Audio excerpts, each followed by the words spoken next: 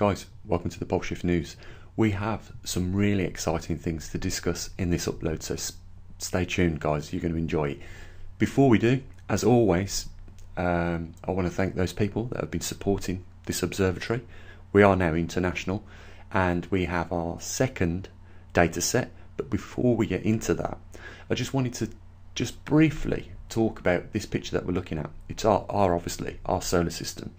And what's so special about our solar system is that out of all the nine planets, and I know that they, don't really uh, regard Pluto as a planet, but you know it has been for thousands of years recognised even by the ancient civilizations as a planet. So, in my view, I'm going to stick with it. We'll keep it at nine planets.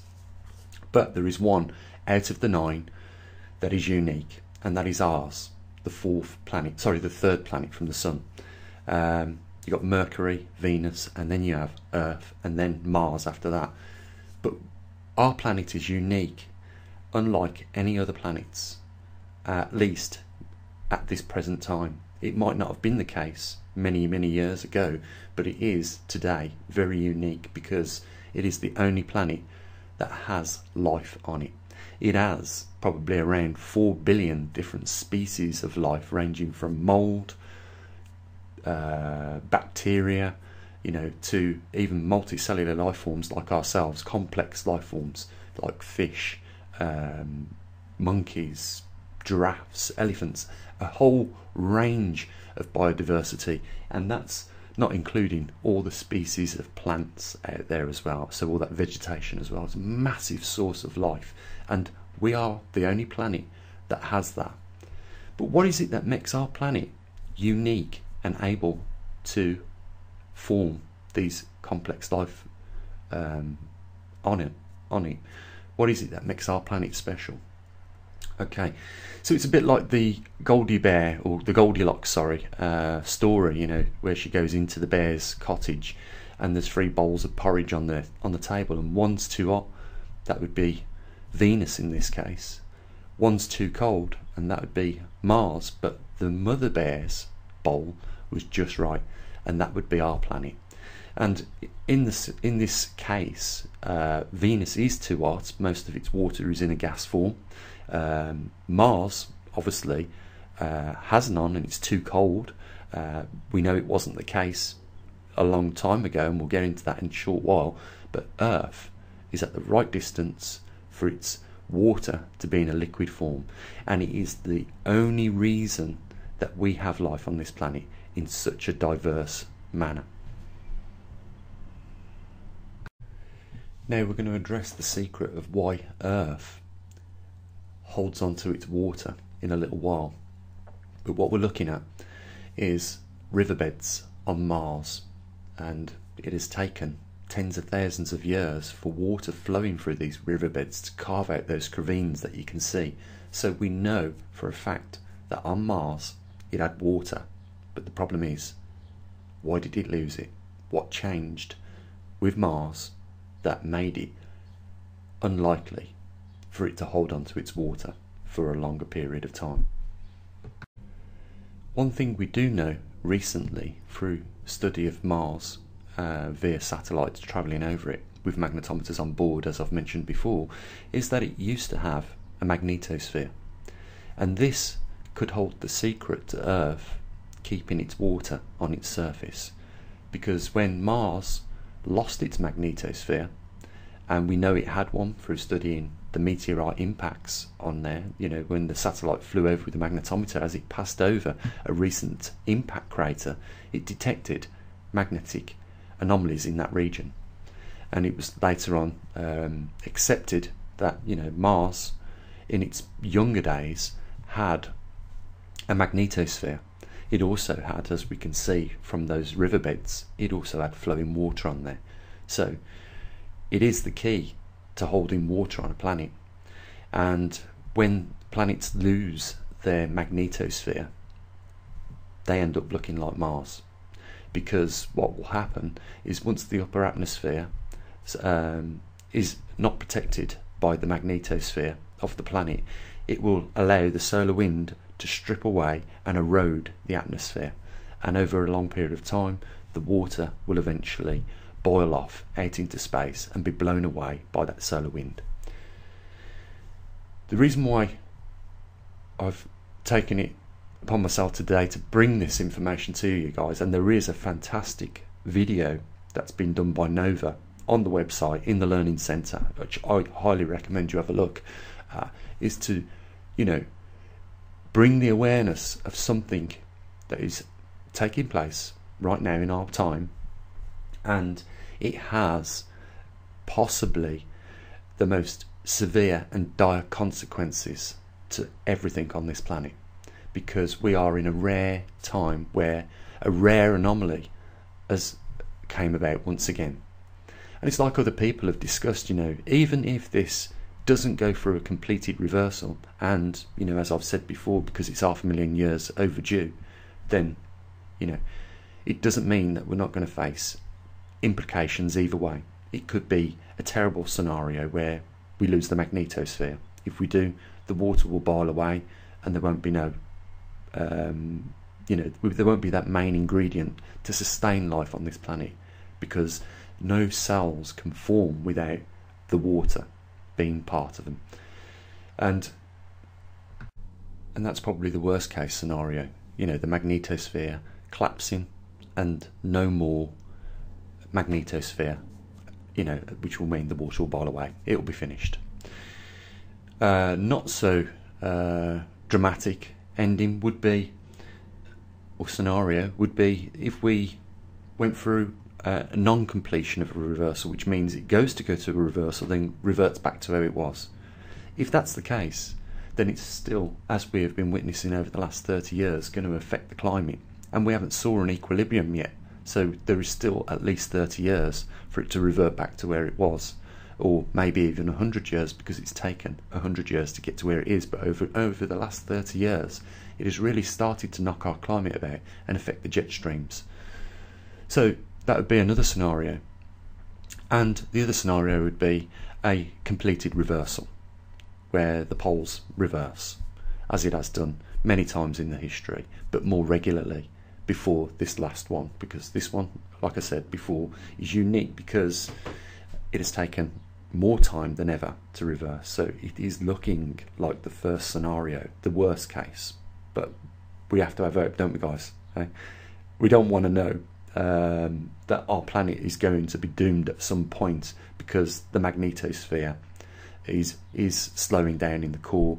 The core is probably solidifying, and therefore, you know that molten swirling iron in the centre is slowly going to stop at some point. And you know, it could be like I was discussing today, a scenario where you know we have a clutch effect where the clutch starts to bite on a car and it grabs hold of the outer tectonic plates and then cr creates a scenario of uh, crustal displacement. You know, it would wreak havoc if that was the case. So a lot worse things are, you know, possibilities out there. And, um, you know, it could just be that we go for a reversal and if that's the case, then you know we know if if it reversed today, it would take at least another hundred years to settle down. So we know that we've still got thirty years more of this weather affecting. Uh, sorry, the, this anomaly that's affecting the weather as it has done for the last thirty years. So those are probably the three um, outcomes of this magnetic reversal that's taking place. One is a complete disaster and loss of life. The second one um, is 30 more years if it reversed today 30 more years of bad weather and that will affect crops. Um, I mean we haven't reached the equilibrium of the effect of crops at the moment. I heard talk the other day that there's probably 40% crop loss in the in Europe. Uh, we know that through the floods in the United States there's been 10% crop loss.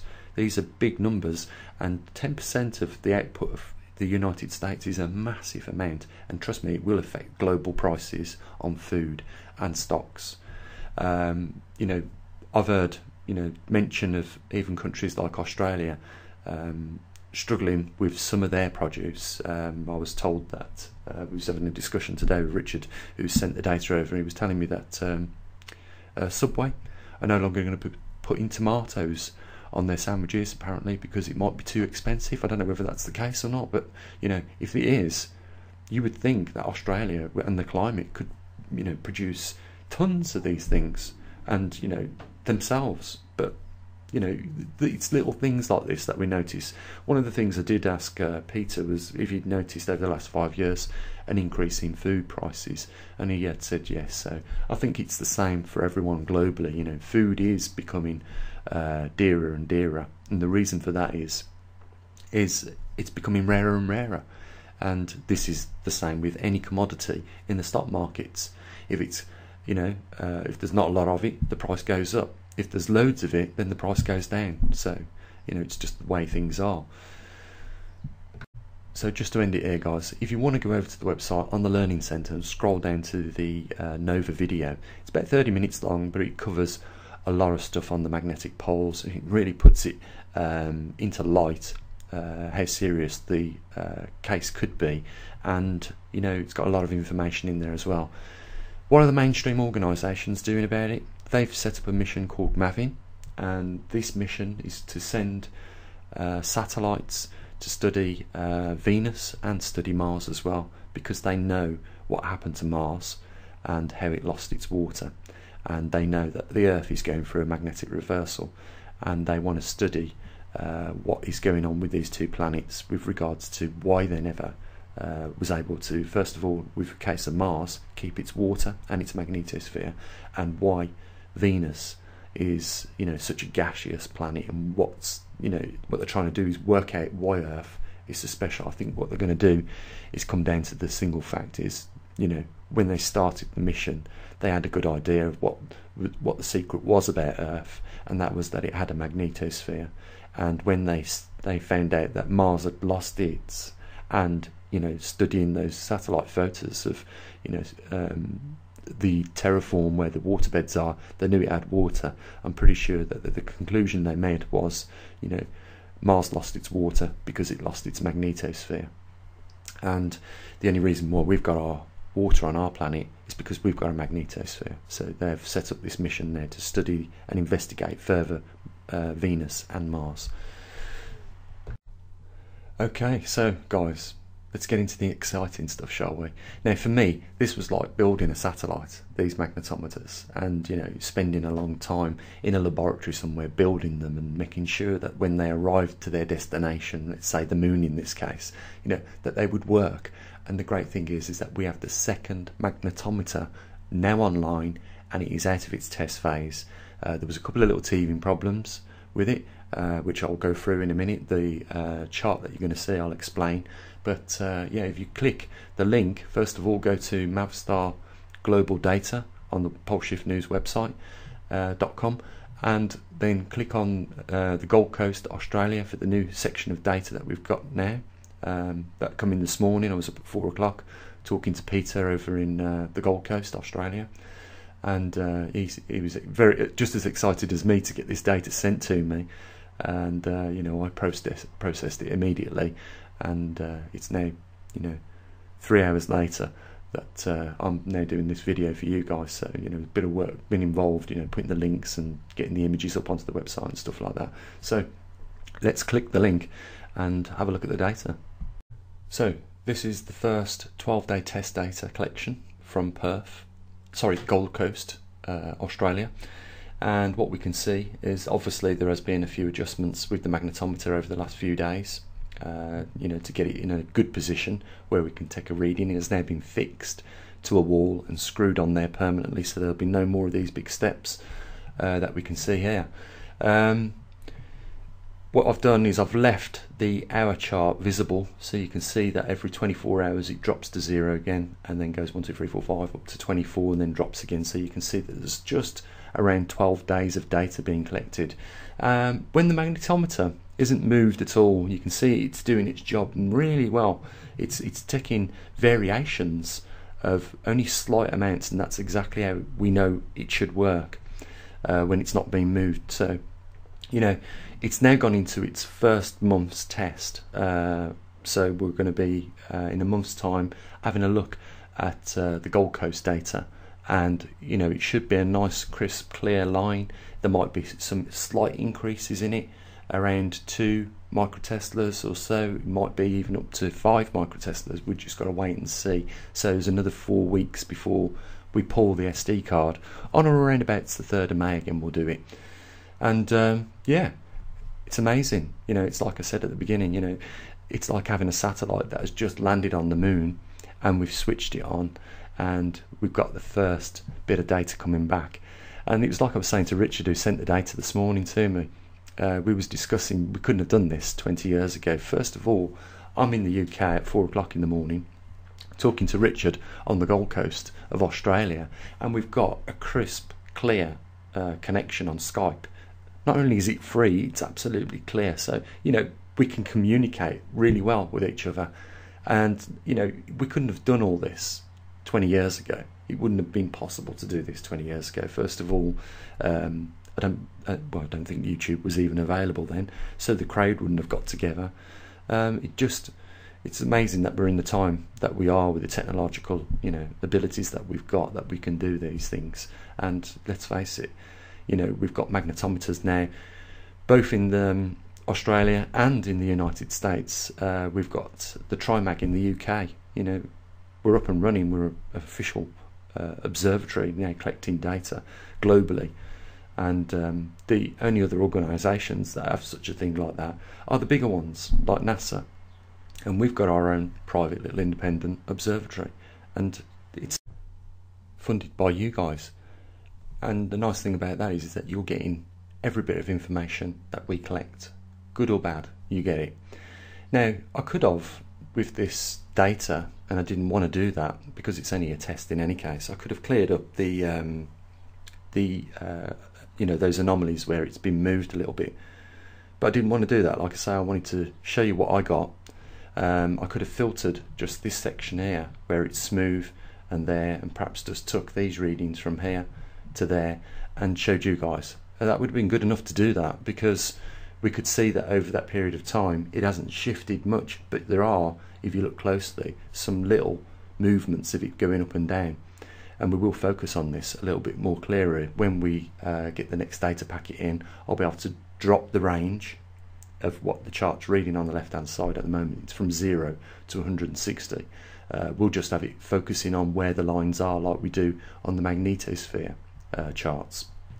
But I wanted to show you how I got the information because this is all about the learning curve of putting these magnetometers out, uh, making sure that they, you know, they're bringing the data back, and that's the main thing here. We've got 937 readings in total every 15 minutes over 12 days, near enough, and uh, you know it's working, and we can clear up these little, uh, you know, uncertainties uh, along the way. The fact is that we have something working, the data's coming in and you know there are lots of possibilities uh, what we can do to clear up the data uh, with Excel and filters. So, guys, I'm going to leave it here. Um, you know, guys, the links are down there. Um, support us on PayPal, support us on Patreon. You know, it's how we carry on doing what we're doing.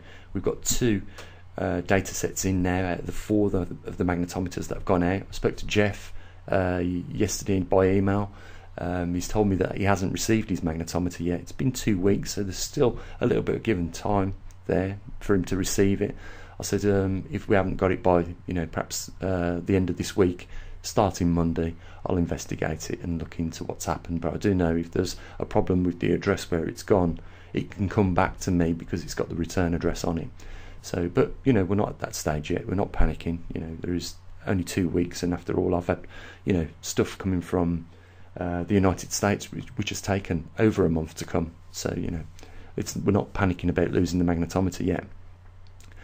And uh, yeah, guys, yeah, you know, support what we do, and uh, have a look at the website as well. Uh, that video I said Nova because it's a, it's a good tool to get a grip on what's going on with our planet, and uh, we'll continue doing what we do.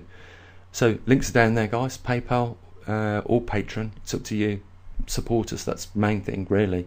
And uh, we'll continue uh, banging the drum at this end, pumping out the data as it comes in. I've just got to, before I go, have a word with Brad tomorrow in Kentucky, and we should have some more data coming in hopefully by then. So I'll say what I usually do, guys. Have a good weekend, and as always, bye for now.